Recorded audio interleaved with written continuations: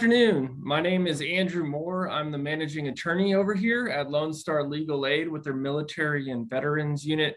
Um, excited here to join you guys today, and we're looking to talk about discharge upgrades for our military uh, veterans that we have out there. Uh, so, brief disclaimer, disclaimer this presentation is intended to serve as legal information and does not replace legal advice. Contact Lone Star Legal Aid at 1 800 733 8394 or go to www.lonestarlegal.org for more information on legal assistance. Uh, Lone Star Legal Aid does not discriminate on the basis of co race, color, religion, gender, gender expression, sexual orientation, age, national origin, ancestry, disability, marital status, or military uh, marital status or military status in any of its activities or operations. Um, so with that disclaimer out of the way, again, my name is Andrew Moore. Today we're going to discuss discharge upgrades, uh, a little bit about the military and veterans unit. So we practice all over the 72 counties that Lone Star Legal Aid services. So we're in Harris County. We have attorneys out in Bell, Bell County by Fort Hood. We have attorneys up in Tyler, the Smith County area. So we cover all 72 counties for Lone Star Legal Aid. For civil legal needs, what does that look like? So for veterans benefits, for discharge upgrades, bankruptcy, consumer issues, housing issues, family law issues, child support issues. Um, so we really run the gamut when it comes to civil legal needs, so long as you are eligible for our um, income and asset uh, test limits that we have out there. So without further ado, I'm going to get into a brief presentation, uh, an overview of discharge upgrades uh, presented by Lone Star Legal Aid's Military and Veterans Unit.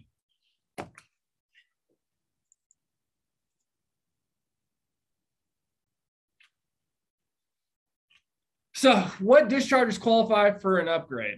Um, specifically, that's going to be any discharge that is not, not an honorable discharge. So if it says OTH other than honorable, bad conduct discharge, um, you know, anything that is going to be less than that honorable discharge can apply for a discharge upgrade with the Board of Corrections for Military Records or the discharge review boards all those decisions that are made by the boards are on an individual case basis. And so there's not going to be any kind of boilerplate decision.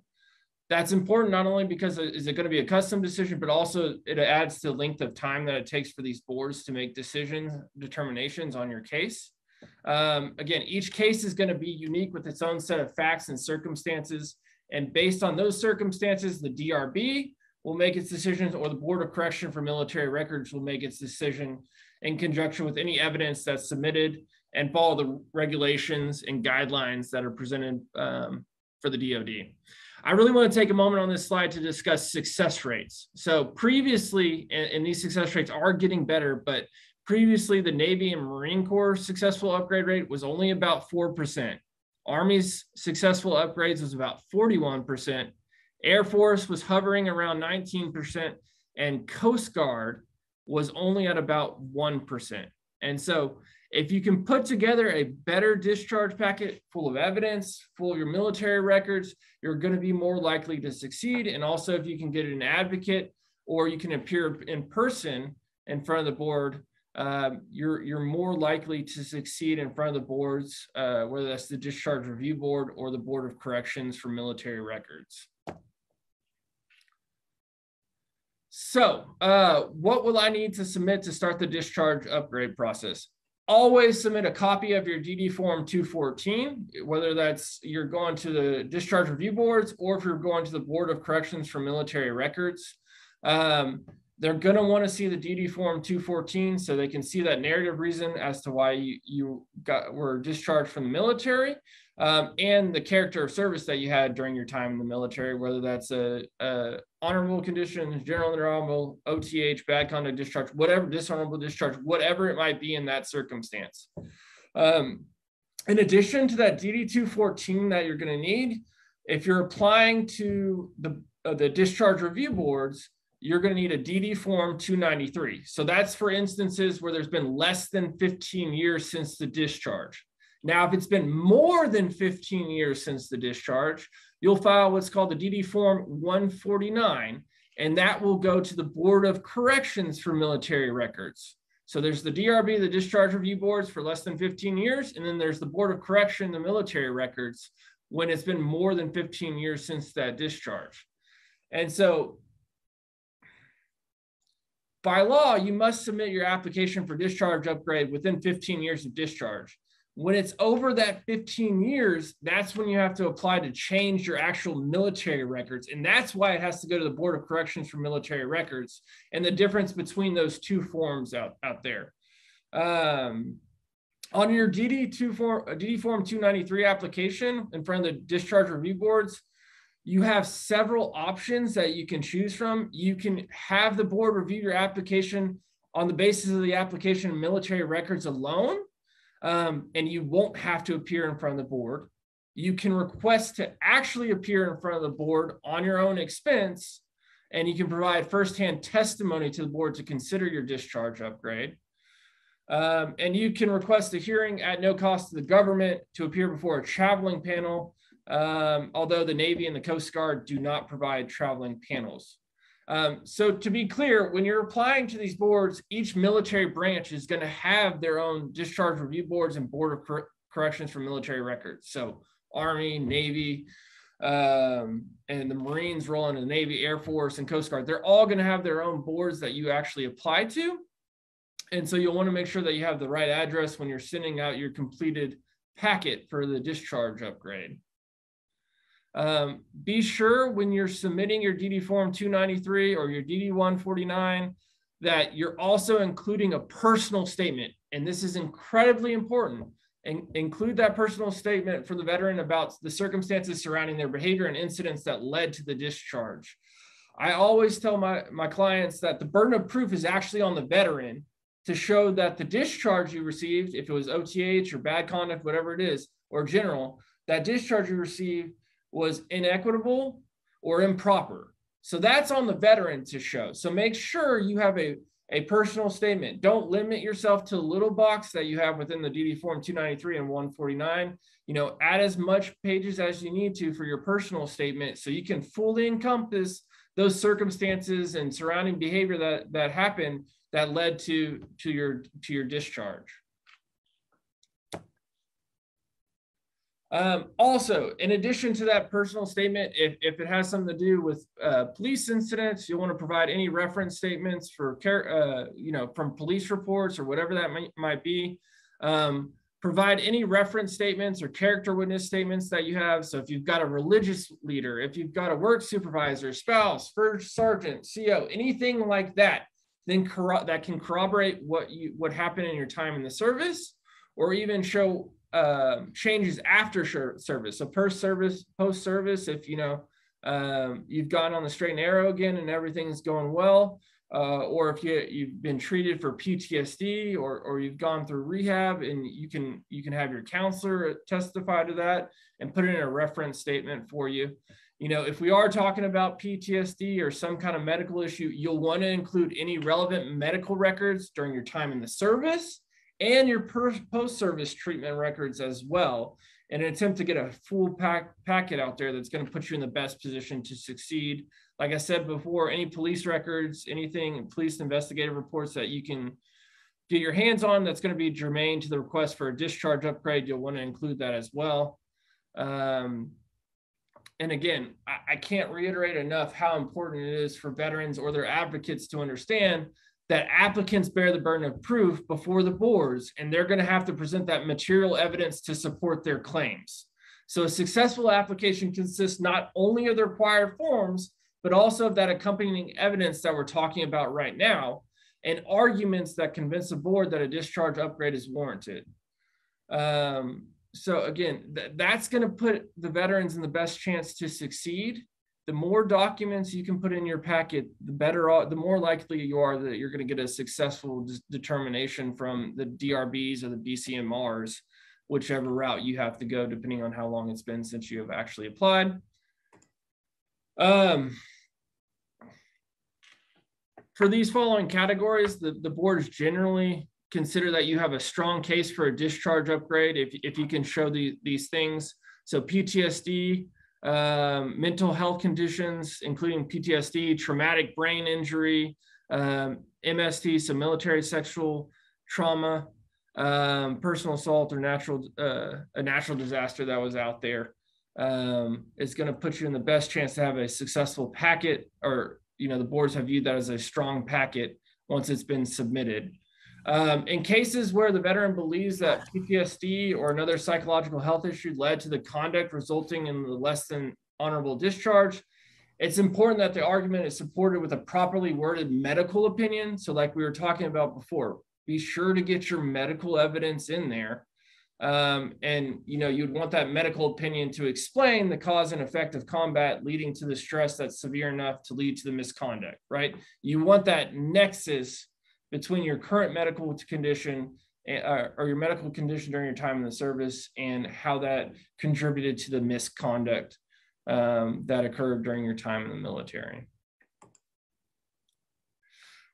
All right, so how does this all work? How do you put it all together? Um, like I said before, you'll want to submit the DD form 2, 214.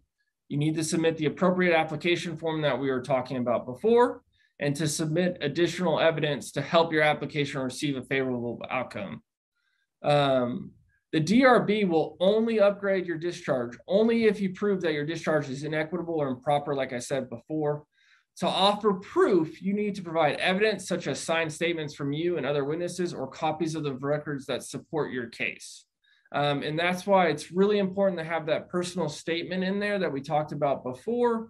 Um, and you can uh, explain what happened and why it's inequitable or improper and why you deserve a, a discharge upgrade. Um, and then also you want the corroborating evidence. The more people you can get to support your claim, the better off you're going to be. So whether you know those statements from people who have direct knowledge or involvement is going to carry substantial weight in front of the boards.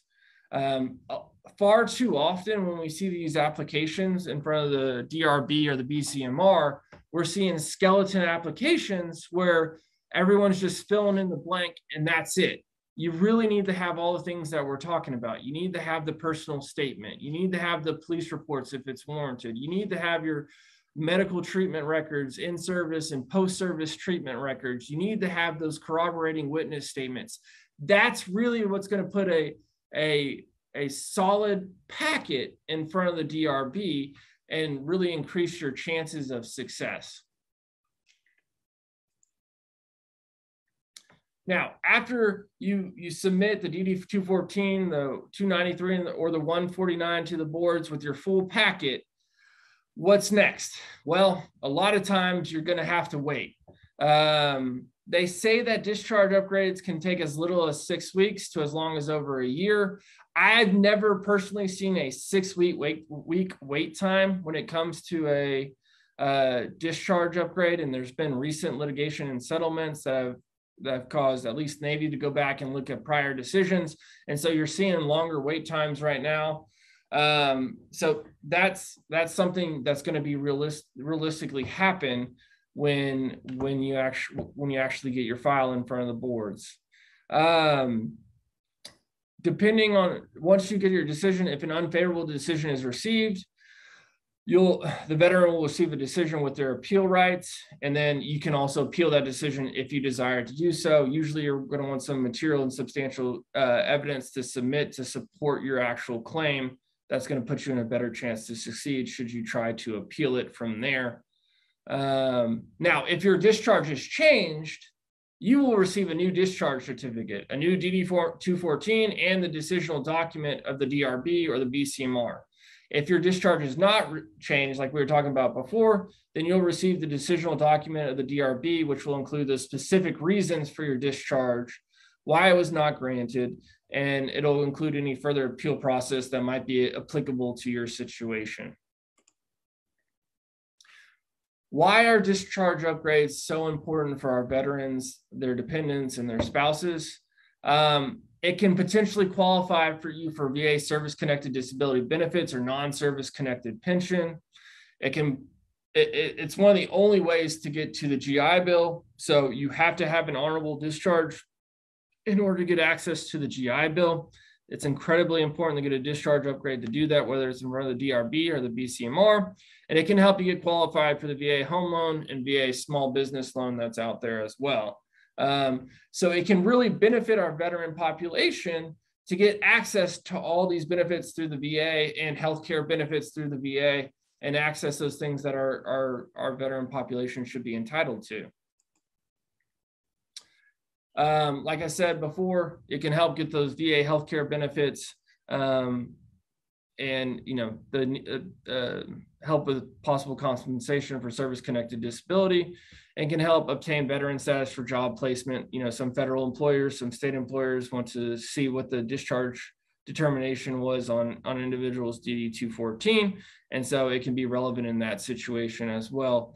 Um, there's also the non-intangible element of it too, right? There's there's can be some stigma about having an OTH, another than honorable discharge, or a, a, bad conduct discharge or dishonorable discharge. So simply getting an upgrade can can help with that stigma for certain veterans as well. Um, and so that kind of wraps up a, a, a, big overhead view of discharge upgrades in front of the discharge review boards or the BCMRs. And again, those are going to be done through the actual military branches in the Department of Defense, whether that's Army, Navy, um, Marine Corps will, will, roll up under the Navy, and then Air Force and Coast Guard. What I want to spend a, a little bit of time talking about is the, the less known option as well, which is an administrative process actually through the VA. And so when we assist veterans, a lot of times we do a, a two prong approach. So we do the discharge upgrade traditionally with through the discharge review board or the board of corrections through military records. And then we also do uh, a characterization of service as it's called through the VA. So right now I'm going to talk a little bit more about the characterization of service through the VA. And it's important because it's a, a much faster process typically than going through the Board of Corrections or the, the boards to try to get a discharge upgrade. And it can get you access to benefits quicker. And we'll talk about what benefits you can get access to it and why you might want to choose this prong as well as doing the discharge upgrade. Again, we try to do both depending, but, but it depends on the situation. So how do you go about requesting a characterization of service through the VA? Well, there's not a specific form requesting the VA to determine that characterization of discharge. All the applicant actually has to do is request some kind of medical treatment in person at the local VA uh, hospital or clinic by filing a form 1010EZ or requesting any kind of benefit. So whether that's requesting a, a VA home loan or service connected disability, request some kind of benefit, and that should trigger the characterization of service investigation. And so the VA is actually supposed to investigate the person's military records and make a determination regarding the person's character of discharge on an administrative basis. And so it doesn't change your DD 214 at all. But for the purposes of the VA and benefits, you're held to be have an honorable uh, discharge so that you can gain access to those benefits. So, um, as I was saying before, the VA can decide that the person is honorable for the purpose of granting those requested VA health benefits or service connected disability or non service connected pension, whatever that benefit is that, that you applied for, once it has examined all the evidence in its possession. And so, just like we were talking about before, you can submit all that documentation to the VA and you can actually request a hearing as well in front of a hearing officer um, or VA representative. So just like you just like you do with the discharge upgrades in front of the boards, you're going to want to have any in-service treatment records that you have, post-service treatment records that you have, personal statements as well. Um, you know, if, if it's some kind of uh, law enforcement issue, then police reports, investigative reports, corroborating witness statements, all of those things so that you can make it possible um, for the VA to to find that you're you're actually going to be held as honorable for the purpose of granting those benefits that we talked about before. Um, and so, as long as there's no statutory or regulatory bars, then health benefits may be granted, or those benefits that we talked about before can be granted. Now, the one benefit that's not going to be granted is going to be that GI Bill, like I said before. The GI Bill requires that your DD 214 say honorable discharge on it. And so, in order to get that, this process is not going to be available to you. But for almost every other benefit for our veteran population, you can do the characterization of service and they will make that determination to find out if, for the VA purposes, you're going to be held to have an honorable discharge. Um, and so, to be clear, this favorable finding isn't going to actually upgrade that discharge characterization for the person's separation from the military. It's only going to be for the administrative purposes within the VA, but it's going to help gain access to those desperately needed benefits.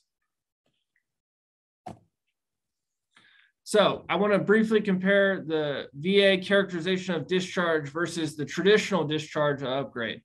So who's going to make that determination whether the veteran has a uh, is going to be held to have an honorable discharge uh, from their time in the service? Well, for the characterization of service, that's going to be the VA. It's going to be an administrative decision that's going to make that determination. For the boards, the boards are going to make that determination for a discharge upgrade if you're filing a DD form 149 or DD form 293. Um, and, and, it'll specifically be by whatever that veteran service department is, whether it's Army, Navy, Air Force, like I said before. Um, I want to keep driving home for that characterization of service that it actually does not change the bad paper that you have. It does not change the DD 214. It's only for administrative purposes, while a traditional discharge upgrade in front of the boards will actually change that DD 214, and you will get issued another DD 214 with that determination letter that you get from the boards. The benefit of doing a characterization of service through the VA is going to be that time. Usually it's only about two to three months to get a determination through the VA, whereas through the actual boards, on average, the discharge upgrade is going to take at least six months to get some kind of determination. So, you know, you can get those health benefits through the VA, you can possibly get service connected and those kind of things by simply doing the characterization of service through the VA. And then if you get denied through the through the actual VA, you can appeal that um, and it, it's not going to have any kind of negative impact on your discharge upgrade either. Um, so the benefits of doing the characterization of service, like I said before, through the VA, it's going to allow the veteran to obtain benefits earned from their service. And the same with the discharge upgrade. You know, once you get your paper upgraded to on the DD 214 to an honorable, then it'll allow for those uh, veteran benefits from your time in the service. And then through both the boards and the VAs, any negative outcomes can actually be appealed as well. Um, so what benefits are actually available to veterans who don't, who aren't able to get an upgrade or without any kind of upgrade? So therapy is available for people who served in a combat theater or who experienced some kind of military sexual assault or mil military sexual trauma. Um, those services are going to be available to you at vet centers. Medical care related to sexual assault is also available to our veteran population. And the veteran needs to ask to speak with the MST coordinator at their local VA hospital to get those services. Um, housing services are also going to be available to our veteran population. So there's homeless shelter services under the grant per diem program and rental support services under the SSVF which is supportive services for veterans and families programs. Um, those are all available to veterans who served in the military unless they received an actual dishonorable discharge. Um, and again, that, that's available as of right now. These are all subject to change should there be any kind of uh, regulation um, amendments or anything like that. So that is a brief overview of discharge upgrades for our, our, our veterans and their uh, dependents and spouses. Um, if, if you'd like to call the military and veterans unit to get more information specifically about your case and actual legal advice, you can call 1-844-400-VETS. Uh, so that's 1-844-400-8387. You can shoot us an email at vethelp at lonestarlegal.org or you can look at our website, www.lonestarlegal.org as well. Um, we'd also like to point out our funders, the Legal Service Corporation, Texas Access to Justice Fund, Texas Veterans Commission, um, and uh, and thank our funders for their time. Um, again, one more time on the disclaimer. This presentation is intended to serve as legal information and does not replace legal advice. So contact Lone Star Legal Aid, like we said before, for more information on legal assistance. Lone Star Legal Aid does not discriminate on the basis of race, color, religion, gender, gender expression, sexual orientation, age, national origin, ancestry, disability, marital status, or military status, and any of its activities or operations. Um, so if there's no questions, uh, I will bid everyone a happy Friday and enjoy the weekend. I appreciate everyone's time and, and thank you for joining us today.